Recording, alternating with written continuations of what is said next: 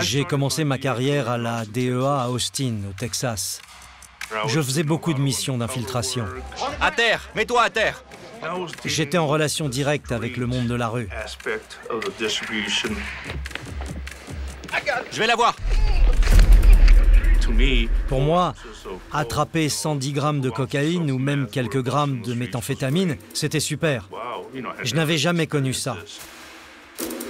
Après quatre ans d'infiltration, j'ai été assigné sur l'affaire du cartel de Medellín en arrivant en Colombie. Et j'ai pris conscience de beaucoup de choses.